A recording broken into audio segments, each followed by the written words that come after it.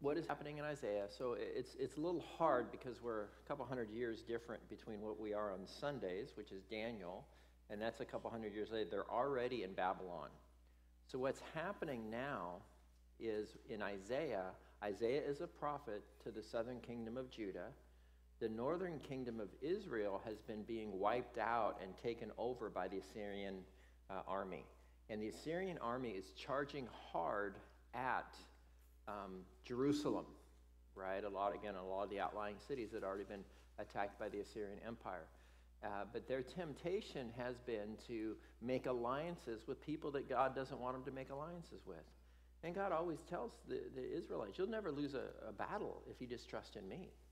And what do they do? They don't trust in him again and again and again and again. And so what's happening is um, the nation of Judah is facing uh, this ruthless army run by a guy named uh, Sennacherib, and they are coming to encamp around Jerusalem when King Hezekiah is in power. So Isaiah chapter 31, verse 1 reads Woe to those who go down to Egypt for help and rely on horses, who trust in chariots because they are many, and in horsemen because they are very strong, but who do not look to the Holy One of Israel, nor seek the Lord. And so the Assyrians, through their art and their depiction of themselves through archaeology, we know that the Assyrians had chariots that were pulled by multiple horses, not just one, like oftentimes you'll see in, in ancient movies or art or whatever.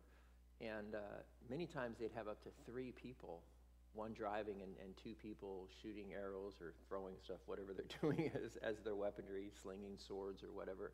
And so these were kind of like the tanks of the day.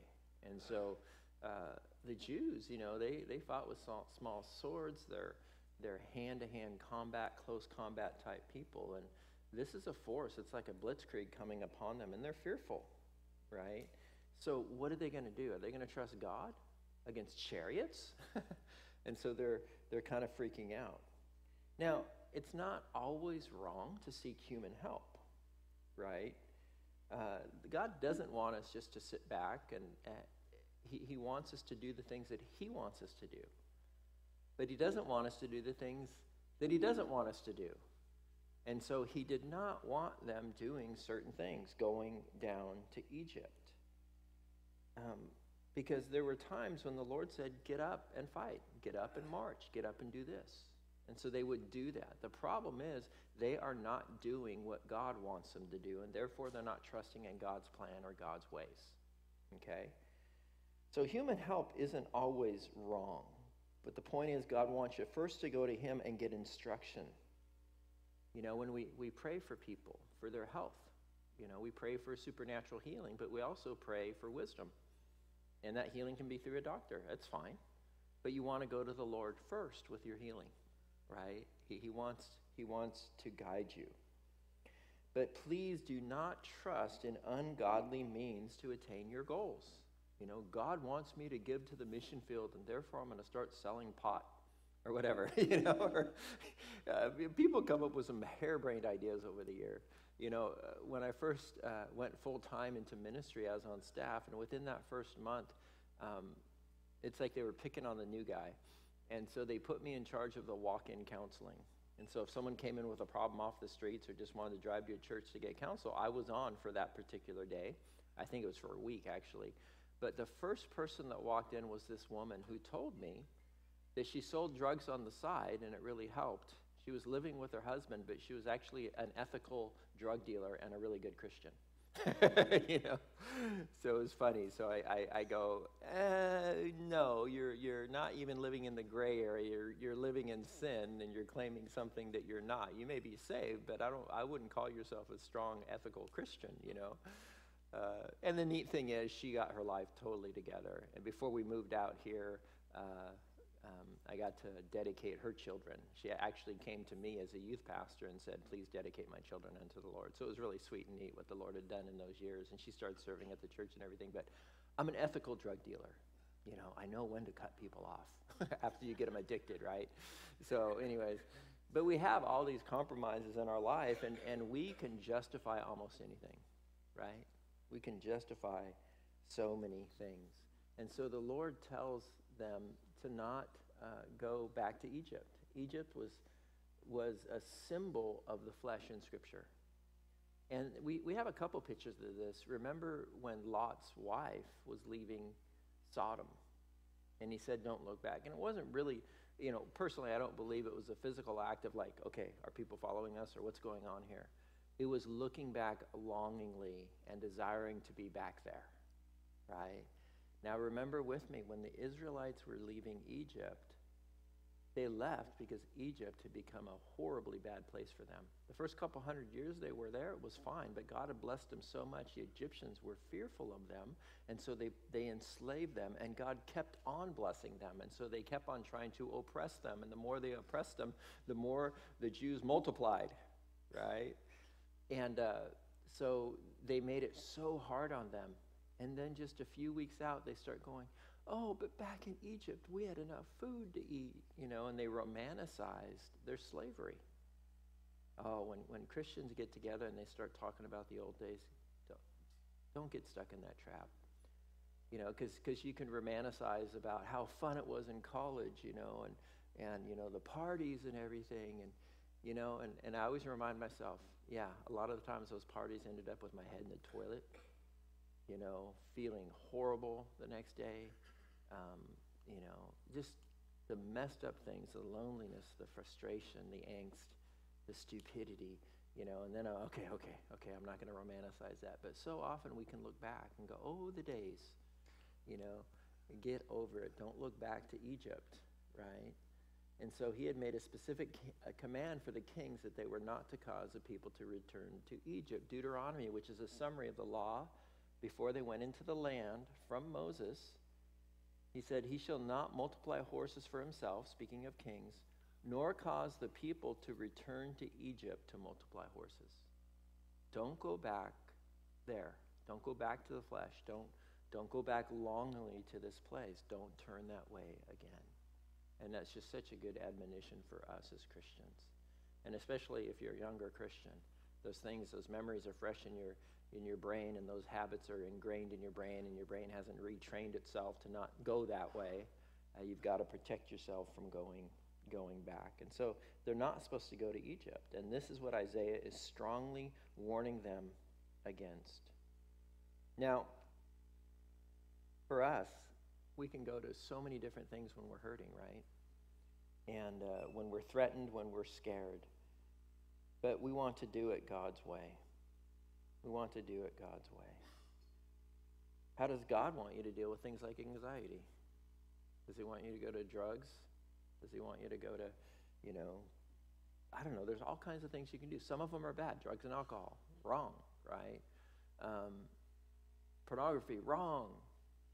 Uh, but what about surfing, for example? That was on the top of my head for some reason.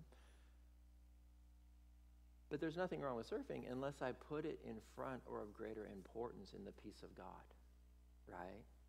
So, so here's what I say I go to God and I pray about my anxiety, then He tells me to go surfing. Then it's okay. but this is true, right? Because we know that, you know, exercise or taking a walk or various things, the Lord can lead you into certain things that are good as long as they are not the thing that you put before God, right? God gives us ways, God gives us wisdom. Sometimes he just wants you to wait and sit with him. Sometimes he might want you to pray and fast, right? But um, the, the, the best way is the first way, which is coming to God, right? Because it says, and we know this verse well, it says in Philippians 4 6, be anxious for nothing, but in everything by prayer and supplication with thanksgiving, let your requests be made known to God, and the peace of God, which surpasses all comprehension, shall guard your hearts and your minds in Christ Jesus. And I love the fact that God can give us a peace beyond our comprehension. Why? Because we're not that smart. If we had to figure out what that peace was like in order to get it, we probably wouldn't get it as much, right? You don't always have to understand. I got a call or someone contacted me somewhere in the country. Someone had heard that we had had a stillborn baby, and tomorrow afternoon I'm going to have um, a time with a couple that had just lost a had a stillborn child, you know, late late term stillborn baby, and um, and I'm going to tell them. I'll, I'll give them all kinds of things, but I'm going to tell them ultimately, you got to pray for this peace because you're going to try to figure it out, and it, it's the reasoning is going to be beyond you. And so it has to be beyond under, your understanding. And what a blessing that Lord, the Lord can give us a peace without us figuring it out. But we want to go to Him. It says by everything, not some things, not most things, not the things that you know you don't have handled. Go to go to Him then when you're at the at the end of your rope. You know, and people say, "Well, finally I pray. I prayed, and so I prayed after trying everything else." Let it be that you pray first, right? Well, and so Paul tells us to deal with anxiety by going to the Lord first. Now, Warren Wiersbe says of the history of the Jews think of the money the nation of Judah would have saved and the distress they would have avoided had they only rested in their God and obeyed his will. All their political negotiations were futile and their treaties worthless.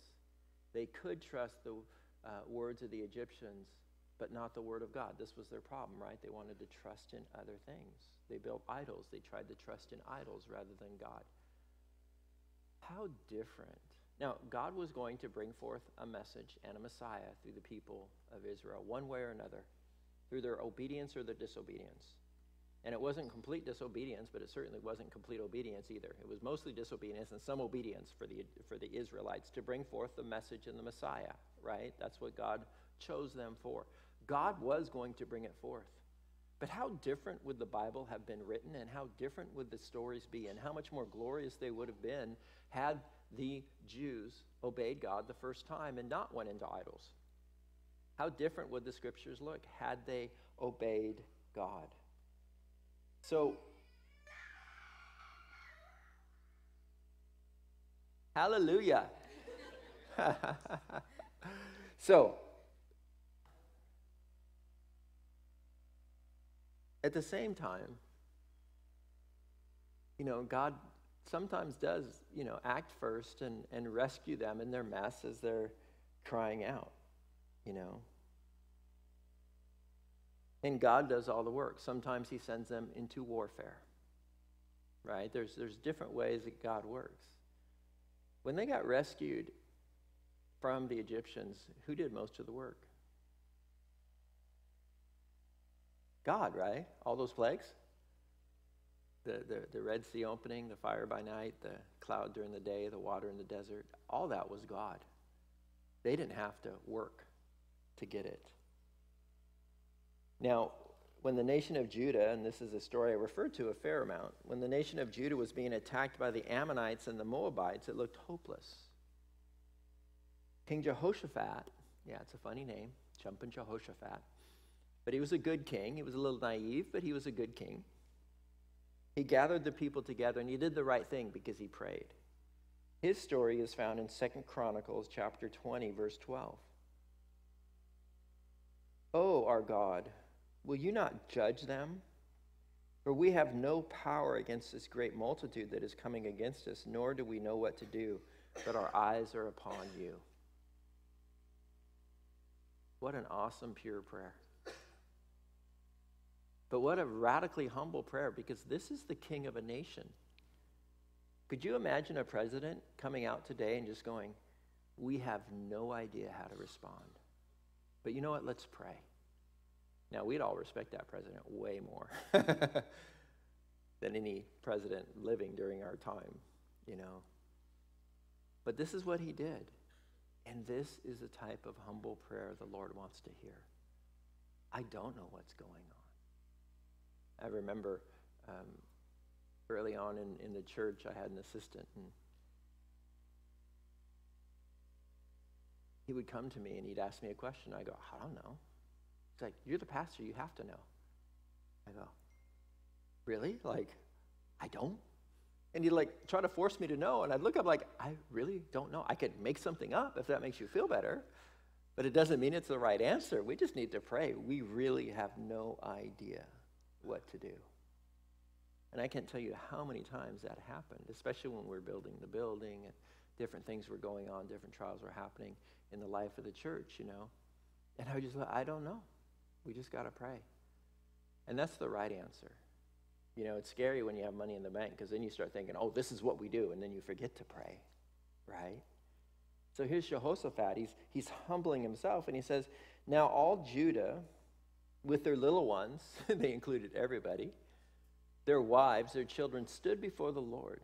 Then the Spirit of the Lord came upon Jahaziel, the son of uh, Zechar, Zechariah, the son of Benaniah, the son of Jael, the son of Mattaniah, a Levite of the sons of Asaph, in the midst of the assembly. And he said, Listen, all of, or all you of Judah and the inhabitants of Jerusalem, and you, King Jehoshaphat, thus says the Lord to you Do not be afraid, nor be dismayed, because of this great multitude, for the battle is not yours. The Lord's just saying, Okay, get out of the way and watch. Tomorrow go down against them. They will surely come up by the ascent of Ziz, and you will find them at the end of the brook before the wilderness of Jeruel, and you will not need to fight in this battle. Position yourselves, stand still, and see the salvation of the Lord who is with you. O Judah and Jerusalem, do not fear nor be dismayed. Tomorrow go out against them, for the Lord is with you. So, what are you going to do at this point? Just go out. And at this point, he's not saying, oh, bring your swords or anything. He's just saying, show up. Take your families. Just, really? Yeah. And the Lord is going to deliver them. So sometimes the Lord says, I got this, stand back. Sometimes he says, this is what you're going to do. Right? And this is what you do. So it's different. There's a couple situations where David comes to the Lord and it seems almost identical to the previous situation. And the Lord tells him two radically different approaches to take to the very same situation. And that's what we need to do. And why does God do it that? Why doesn't He give you a, a, formula for everything? Well, the formula is pray and obey. That's the formula. But His answer to your prayer can be radically different. Why does He do that? Because if, if, if it was just a formula, we just attach a formula to everything and we'd never pray. We'd never depend upon Him and we'd never wait upon Him. We'd never come back to Him. He wants us to be dependent upon Him. Why? Because He loves to hang out with us, right? He wants us to come again and again to Him, right? So this is what's happening. And then it goes on, verse 18. And Jehoshaphat bowed his head with his face to the ground, and all Judah and the inhabitants of Jerusalem bowed before the Lord, worshiping the Lord. Again, you see a president get out from behind his podium with the seal on it, lay down on his face, and just start crying out to the Lord. Then the Levites of the children of the Kohathites and the children of the Korahites stood up to praise the Lord God of Israel with voices loud and high. So they rose early in the morning and went out into the wilderness of Tekoa. And, and, as they went out, Jehoshaphat stood and said, Hear me, O Judah, and you inhabitants of Jerusalem. Believe in the Lord your God, and you shall be established. There's a verse in Peter that talks about that. It was a verse that helped Noreen and I not run back to California when we were first planning the church and facing trials. Believe his prophets, and you shall prosper. And when he had consulted with the people, he appointed those who should sing to the Lord and who should praise the beauty of holiness as they went out before the army and were saying, Praise the Lord, for his mercy endures forever. Now, when they began to sing and praise, the Lord set ambushes against the people of Ammon, Ammon Moab, and Mount Seir, who had come against Judah and they were defeated. Send the worship team out in front of the battle. Can you imagine the Marines? Get that brass band out here, set them out front, you know? But they were praising the Lord, and the Lord brought defeat. Fight the battle my way, and you will have my power and my results in your hand. Fight the battle my way. Express trust in the Lord by praising Him. What does the enemy not want you to do? Pray. Praise God. Whatever it might be. You might, you might need to uh, change the atmosphere in your workspace. You might need to change the atmosphere of your marriage or your, your home or your relationship with your children. But praise the Lord, the enemy hates that. But praise the Lord. He wants, uh, the enemy wants you to quit, but God is faithful and actively involved. And I've found out, for me, you may not tell that I'm radically stressed, but I'm fairly paralyzed. I don't get a whole lot done. My, my, my, countenance may be fine, but in my heart, I'm just I'm getting nothing done because I am just paralyzed when I've when I have anxiety. But it's it's neat because over the years I realized God is still working. It doesn't all depend upon me, and He knows I'm paralyzed. He knows my weaknesses, and He's still working behind the scenes. And I've just got to fight through and trust the Lord and take that next step.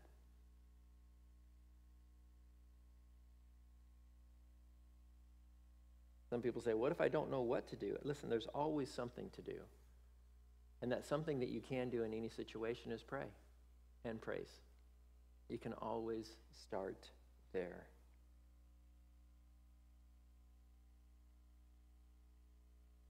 And so he's looking at them, and through Isaiah, previously, he had said,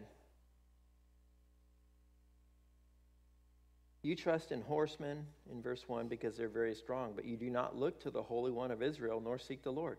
What is your problem? You respect them greatly. What am I, chop liver? I'm the God who has delivered you historically in so many situations. Verse 2 goes on and says, Yet he also is wise and will bring disaster and not call back his words, but will arise against the house of evildoers and against the help of those who work iniquity. The Egyptians aren't the answer. God is also wise, and he doesn't take back his words. What he says goes. He is faithful with his words, and what he promises is done. He keeps his word. Verse 3 Now the Egyptians are men and not God. Duh and their horses are flesh and not spirit. When the Lord stretches out his hand, both he who helps will fall, and he who is helped will fall down. So the Egyptians and the Israelites will fall down if they do it this way. They all will perish together. For thus says the Lord, He has spoken to me, as a lion roars and a young lion over his prey. When a multitude of shepherds is summoned against him, will he will not be afraid of their voice, nor disturbed by their noise. So the Lord of hosts will come down to fight for Mount Zion and for its hill. And so the Egyptians are going to fall. It's nothing for the Lord to wipe out the Egyptians. Now, if you're united with the Egyptians, you're going to fall too. So don't unite with the Egyptians, basically, is what he's saying. And he gives them an illustration. There's this huge lion, and there's a few wimpy shepherds. Here comes this lion. The lion wants, ha, has an objective and he's not worried about these wimpy shepherds. The Lord represents himself as this powerful lion in the story. And uh, he's just going to ignore the, the, the whimperings of, of the strength of the Egyptians, or the, the whimperings of the Egyptians who think they're strong. And here's what we always got to remember we can be terrified by our enemies, but God is never afraid of your enemy. God is never afraid of your enemy. For me, I, I don't like to be intimidated by people because I like to be able to walk up to people and just talk straight up, right? So early on in my, my life, you know, I'd, I'd met a few famous people, but then when I went on the surfing, surfing tour, uh, all of these people that I used to have as, as my sports idols, as it were, um, I met, I got to know. I actually became their judge, uh, literally, right? So it was interesting. So I, I, I kind of got over the fame thing. And then, um, then I found out that I get really nervous around pastors that I respect. Yeah, because they're right in my realm, right? You know? And then after time, then I start to become more of a mentor to other pastors. And it's just funny how you, like, everything starts to change. And then you see, you know, I still have mentors, but I can talk to them straight up. I don't get as nervous around them anymore, right? And, and it's just maturity. You grow up, you know. Um, and as someone that, that goes to college and, and likes to learn and take classes and stuff like that, I would be very intimidated at times on, uh, on college campuses. And I, I, no longer am, you know, and, and it's, just, it's just maturity. It's just, it's just, um, it's just time. And uh, at the same time, there, you know, every so often I get, I get nervous around people and I don't know what they're thinking about me. And uh, I met this, you know, real famous lawyer in the Christian realm, and he, he runs the uh, Americans Defending Freedom organization and started the Homeschool Legal Association and stuff like that. And I was talking to him, and I was like tongue tied, and I stumbled over my words, and I was all goofy and everything. and I'm just like, what in the world, you know? And then I, I just pull back, and I go, it's just a man. It's just a man like me, you know? And, uh, but whatever the situation, I don't know what makes you nervous or who, who can put a little bit of anxiety into you. Nobody is smarter than God. No one is stronger than God.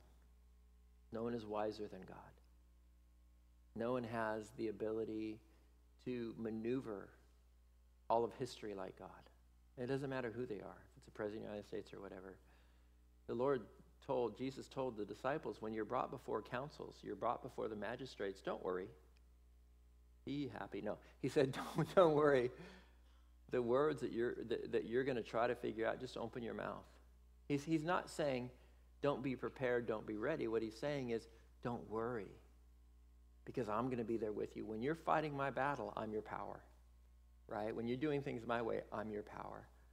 And so, God isn't impressed with their posturing. They're, they are mere humans. Egypt, Later on, Babylon, Assyria is nothing to him. Psalm 37, verse 8, it says, Cease from anger and forsake wrath. Do not fret, it only causes harm. But those who wait upon the Lord, they shall inherit the earth. For yet a little while, and the wicked shall be no more. Indeed, you will look carefully for his place, but it shall be no more. But the meek shall inherit the earth and delight themselves in the abundance of peace. You know, God loves you intimately and He knows you and He's on your side. And so when you come up against something that seems like it can overwhelm you or eat you up, just know this the meek shall inherit the earth. Those that are just relaxed in God. Meekness is power under control. I got a big brother. He's got a lot of power.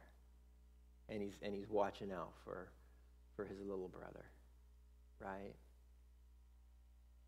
The wicked plots against the just and gnashes at him with his teeth, and the Lord laughs at him, for he sees that his day is coming. I love that. The Lord laughs. you know, I don't know how he laughs, but for he sees his day is coming, and the wicked have drawn the sword, and they bent their bow, and they cast down the poor and needy to slay those who are of upright conduct. Their, their sword shall enter their own heart, and their bows shall be broken. A little that a righteous man has is better than the riches of many wicked. For the arms of the wicked shall be broken, but the Lord upholds the righteous. The Lord knows the days of the upright, and their inheritance shall be forever. You know, it's funny because you hear about these people that are just trying to accumulate billions. They have hundreds of millions of dollars and they still want more and they're still making deals. How much is enough? And here's the thing if you look at satisfaction levels, I'm richer than most billionaires. And if you have godliness and contentment, you are richer than most billionaires. But what do we do when we get around a, a millionaire or billionaire? Oh,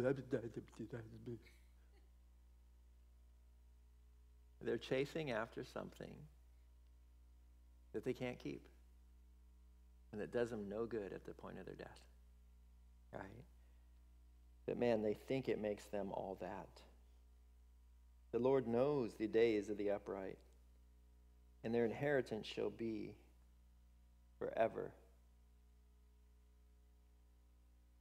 Verse 20 says, But the wicked shall perish, and the enemies of the Lord like the splendor of the meadows. They shall vanish into smoke, they shall vanish away.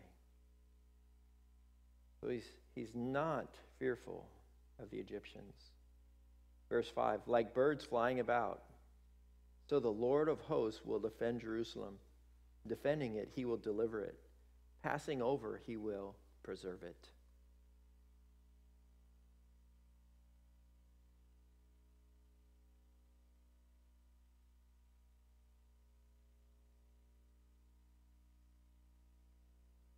It's ironic because God had delivered Israel with a Passover, right? And he's saying, I'm going to pass over it again and I'm going to deliver you again. Be inside my protection, be inside the walls, and you're going to be fine. If you're outside the walls, you're not going to be so fine.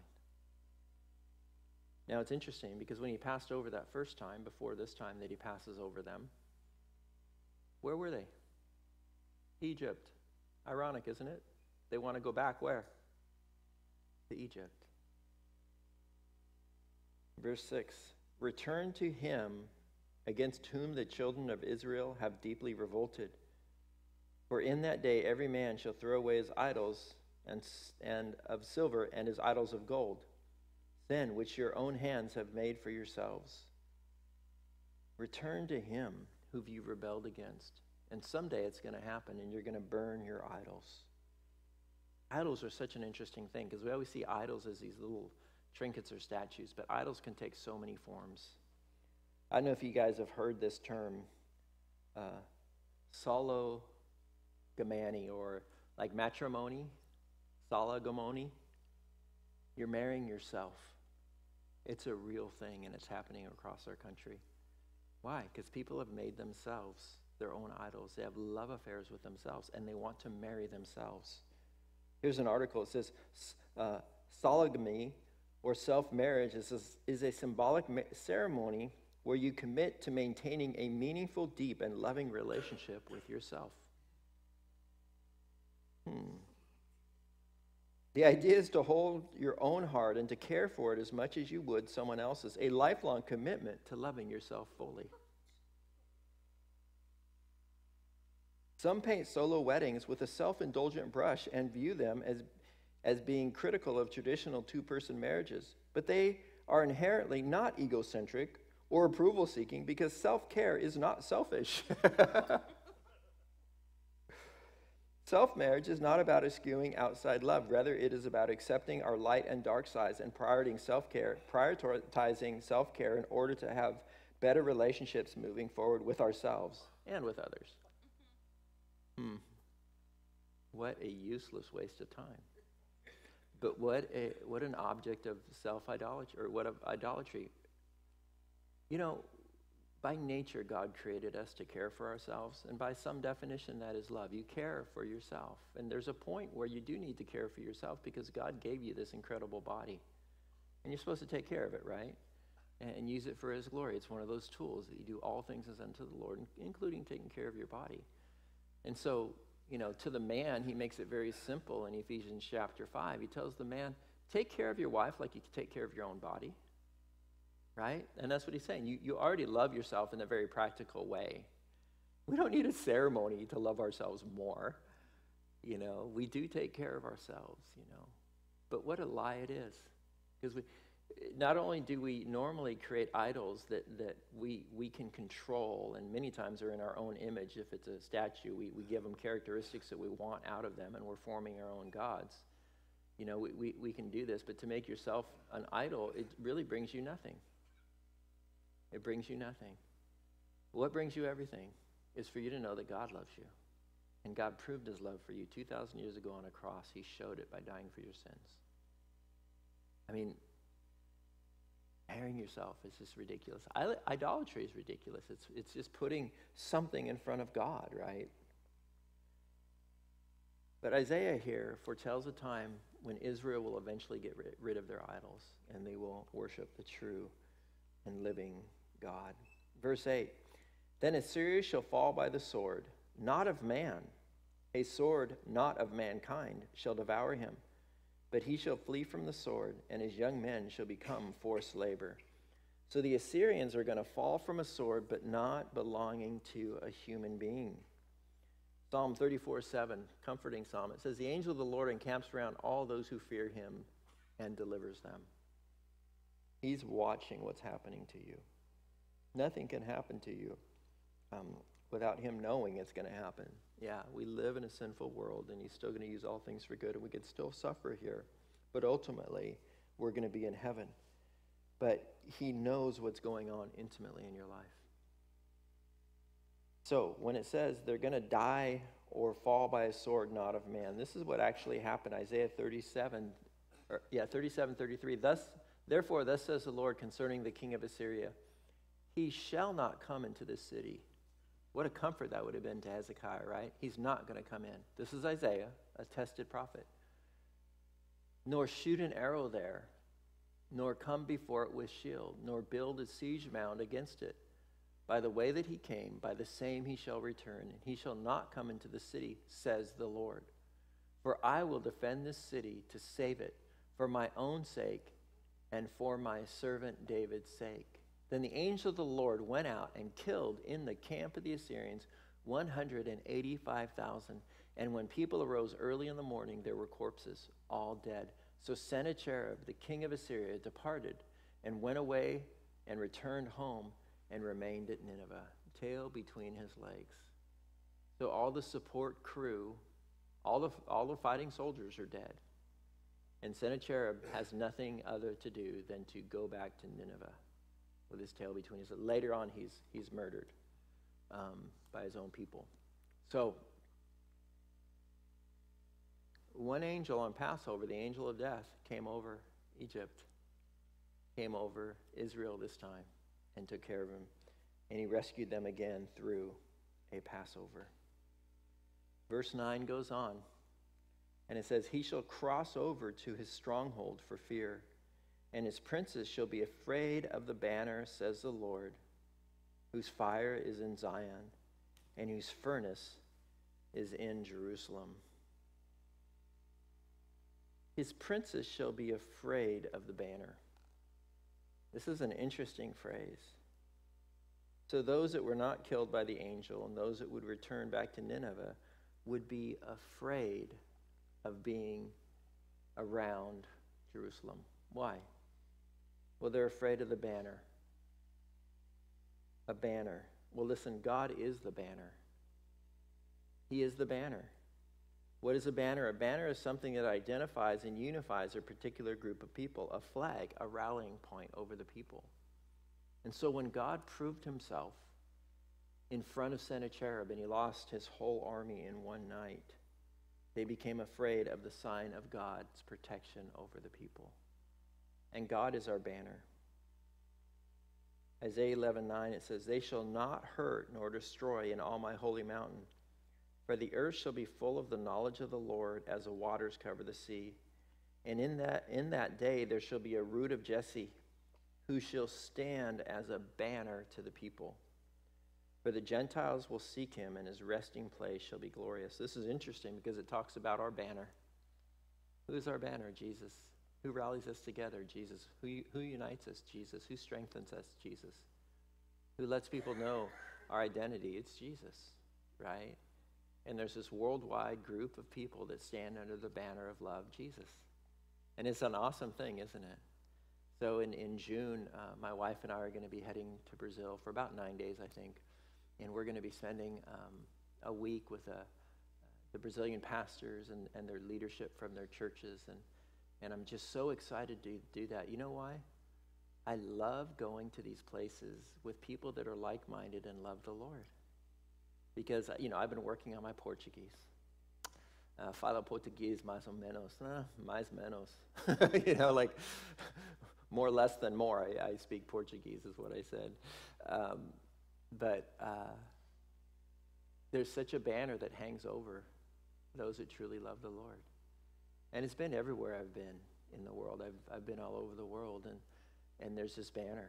You know, we have a group of young people that are in Mexico right now, and they can't talk with the kids. But I tell you what, when they connect with the missionaries and everything, and even with the kids who, who love the Lord or the mamas down there that, that they're down in Ponte right now, um, there's going to be a unity of fellowship that they're going to experience that you just, it's his banner, it's his rallying cry, it's, his, it's the thing that gathers us, it's Jesus, right? So the banner over them was the sign of God over them, actually. And for us, that banner over us is Jesus. And listen, they feared God. Now, we fear God in respect, but we're not terrified of God, right? And one thing that we need to remember during this time is we're of the Lord, we're not of the demons. You know, it's funny because what's happening in the Supreme Court right now, which is crazy because someone leaked some, some early um, indications that Roe v. Wade will be overturned. All that happens when Roe versus Wade is overturned, and it looks like it probably will be, is the federal government admitting that they have no place in abortion. And what happens then is it just goes back to each individual state. That's all it's saying. It's saying it's not in the Constitution at all. Therefore, we have no right to speak about it because it's not a part of our law. And when Roe v. Wade was, enacted, it became a law, and it shouldn't have been. It just it was it was bad. It was bad a bad choice, right? And you had five Republicans uh, that were on that, five supposedly conservatives that were on the Supreme Court at the time, and they did vote with two other, two uh, liberals, and they did vote for, for this law that has stood. And that meant the federal government had the power to force states to have abortions in, in, their, in, their, um, in their states. So all they're saying, all literally all they're saying is we're removing our opinion, basically. We're not, it, it's not in the Constitution. We have no right to speak about it. That's basically, they're vacating their decision, basically, which is the right thing to do. So, that being said, you have all these people freaking out and, uh, and getting violent. And when you get violent, aggressively violent, now there can be violence of defense, right? But when you're aggressively violent towards the peaceful, you've lost the argument. Right? There's, there's no argument. They're just trying to force by intimidation of you, you know, and, and they talk about uh, the rights of all women born. The problem is you use born in that sentence because abortion doesn't allow someone to be born alive, right? And um, it's, just, it's just wild what's happening. And, and we look at these pressures but for us as Christians, we got to, as we're facing this world, and I'm going to keep on encouraging you with things like this because we need it today. I do not want you to compromise as believers. You can peacefully and lovingly say no. And people might attack you for it, but, but you need to stay on God's side because eternally, He is the one that holds your life and future in His hands. And, and He is right. And it's not my opinion. People say, well, your opinion. That's not my opinion. I agree with God's opinion for sure, but I didn't come up with this opinion, right? And so just understand that you stand on solid ground when you stand on moral truth, okay? Um, but just remembering this um, you are of God, little children, and have overcome them because he who is in you is greater than he who is in the world. That's a simple verse there, but it's so powerful. Just remember when you stand on God's side, you're standing on the right side. I don't really care about the right side of history. Everybody's, like, you're on the wrong side of history. So what?